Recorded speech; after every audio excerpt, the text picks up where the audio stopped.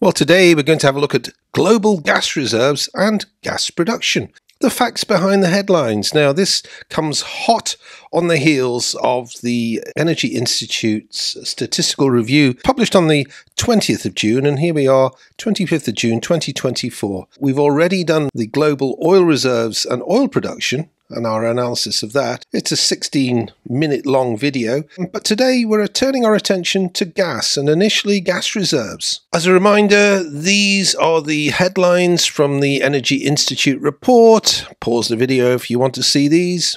But now going straight on to global reserves. Now we're quoting these numbers in trillions of cubic meters. No, we don't usually uh, use the metric. We normally use um, imperial billions of cubic feet, or in this case, trillions of cubic feet. But today we've got cubic meters. So here we go, global reserves of gas, and they've gone from around about 70 trillion cubic meters back in the uh, 1980, and here we are in 2020, 40 years later, and reserves stand just north of 180 trillion cubic meters. Now uh, you, you can see the major producers here uh, Russia, Turkmenistan, Iran, Qatar. I'm going to talk about some of these uh, as we go through the video. Now, I want to draw your attention to this little dark orange slither down here. This is the amount of gas that the UK produces. It is very, very small, very insignificant in the larger picture. Uh, you can see yeah, gas reserves. I mean, they are they are rising. Perhaps um, a little downturn here right at the end, perhaps, but essentially, and that's possibly COVID related. But uh, we've got basically uh, lots and lots of gas reserves remaining. We're going to look at this uh, red arrow, and uh, this is our summation here. That basically it's kind of it's steady. It's steady. It's not really going up an awful lot. It's not going down at all. It's relatively steady over the last decade or so. Now, if we look here at North America, um, we can see Canada in blue, Mexico in orange, and Mexico, well, that's been a bit of a sad story, really. The reserves have really, really fallen off and become almost insignificant in uh, the last couple of decades, uh, as opposed to the US, and you can see the US has boomed. And this, of course, is all down to fracking of shales. So Fracking of shales, good thing to do if you want to get lots and lots of gas reserves. The picture here, the arrow is definitely up. Africa, again, if we look at Africa, you can see that uh, really for the last uh, decade or so, the uh, reserves been relatively flat, maybe a, a, little upturn here, and I'm not entirely sure that this uh, this sudden plummet here is, is realistic. It's uh, obviously Algeria. Perhaps that's a that's a bad data point in there, but Algeria and Nigeria, the two big producers within Africa. And generally speaking, eh, it's been kind of flat, hasn't gone up or down in the last decade or two. Now go to Asia Pacific, and you can see all the countries listed up here, and you can see that the basic the, the reserves have just gone up and up and up over this period of time from from four back in 1980, four trillion cubic meters, up to around about uh, well nearly 16 and a half trillion cubic meters in 2020 the big resource centres here Australia, China, and Indonesia. This is a success story and reserves going up.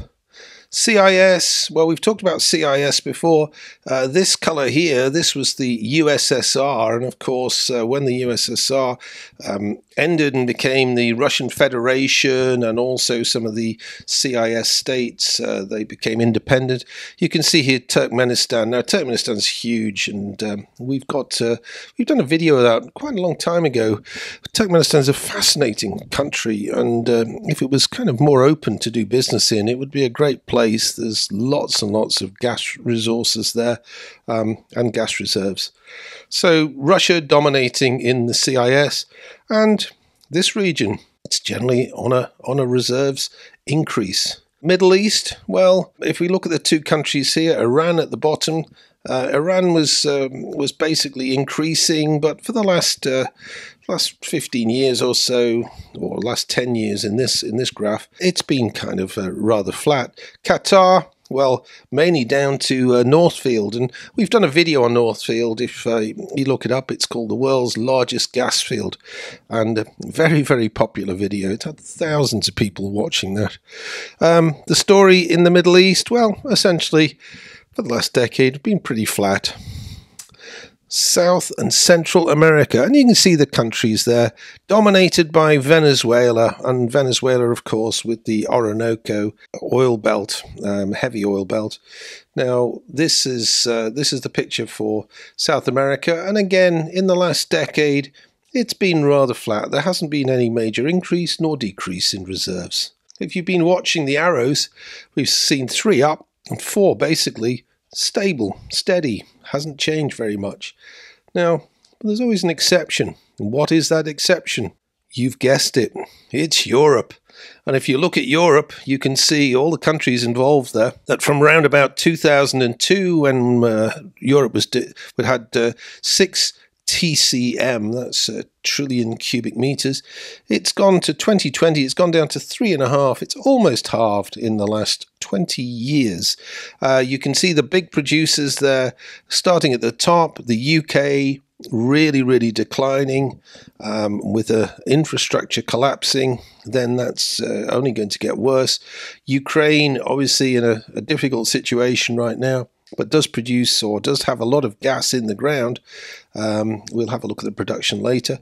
Norway has been doing very, very well, but again, uh, we see quite a decline there in the uh, in the gas. You know, feels like uh, Frigg of, of now essentially gone. But uh, Netherlands, you can see the Netherlands story here, this grey band. The Netherlands, this is all down to Groningen. And uh, the Groningen field here, basically the reserves have kind of been written off because of uh, a mixture of sort of uh, subsidence and uh, and politics. Now, if we look in terms of gas production, this is the worldwide view, and now we've gone back to BCF. I love BCF billions of cubic feet. You can see here, and back in 1970, production was around about 100 BCF, and now in 2023, the right hand side of the graph, you can see we're almost approaching 400. There has been a little COVID dip recently, uh, but we seem to be now back on track and producing gas at record amounts. Again, for production, the UK is this dark orange band. It was kind of a, a bit more significant back in the sort of the 90s and uh, early 2000s, but in recent years has really, uh, really dropped significantly. So overall, the UK fairly insignificant in terms of global gas production. Now, looking at North America, we can see how the US dominates this grey band here. Sort of Mexico, really, uh, there's this thin slither here. Significant numbers, but uh, Canada kind of been going along uh, quite steady for the last couple of decades or so. But it's the US, it's the uh, it's the fracking of the shale that's uh, really brought about significant increases in gas production. For Africa, again, you can see the red arrow pointing up, and the major um, major countries contributing here: Algeria in yellow, Egypt, and uh, Nigeria in blue. These are the uh, there's, there's been increases, and uh, really back in 1970 there was hardly any production of gas. Um, a lot of it was flared, I guess, back then. But now we're producing about uh, 25 BCF of gas per day. Asia Pacific, again, you can see a rise. Pause the video if you want to see what's uh, who's the, the mover and shakers are in this region. Likewise for CIS, again, we've got the USSR here um, in this sort of flesh color going across to the Russian Federation in green, and then contributions from Turkmenistan and um, Uzbekistan. And the overall, well, it's kind of steadyish, but minor, uh, a slight increase, perhaps something in the last couple of years, probably to do with the sanctions being imposed on uh, Russian Federation for the invasion of Ukraine. Now, Middle East, Middle East has seen uh, a significant rise through time, and uh, it's really to uh, Iran has had this uh, steady increase in production, now amounting to well over 25 BCF of gas per day. Um, Qatar is huge, and of course, Qatar is huge because of the um, the North Field. South and Central America, you can see it's kind of been steady-ish from around about 2006, but there's been some ups and downs. We're going to call that one steady. Pause the video if you want to see the detail of which countries are contributing. And here we go. Here's the exception again. And again, it's Europe. And in terms of production, well, the UK was a major producer here back in the 2000s, uh, early 2000s, but has really, really massively declined since that period of time. Norway's kind of plateaued out, you can see through here. And of course, Netherlands, with the shutting in of Groningen, have seen this major, major decline. Overall, for Europe, production levels are way down. So there's more detail on the UK and Norway. Pause the video if you want to see more about those. Um, we've mentioned uh, the Groningen effect on Netherlands as well. Um, in summary, so global gas reserves, well, they are increasing. There is more gas reserves available.